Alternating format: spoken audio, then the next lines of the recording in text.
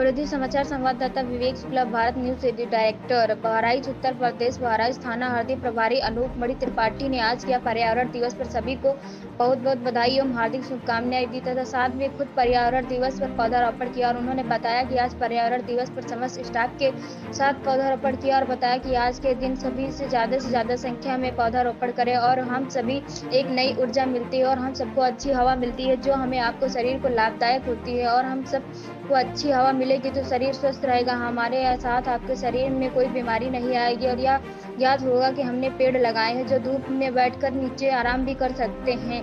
पेड़ से कई फ़ायदे होते हैं। थाना प्रभारी ने अमरूद, नीम, अशोक और फलदायक पेड़ लगाए तथा स्वच्छ वातावरण रहेगा। हवा मिलेगी जो शरीर को लाभदायक होगी। इस दौरान थाना प्रभारी हरती अनूप मणि त्रिपाठी उप निरीक्षक आदित्य कुमार, अशोक कुमार के साथ आरती स्टाफ के आरक्षी, महिला आरक्षी आदि ने पौधारोपण किया।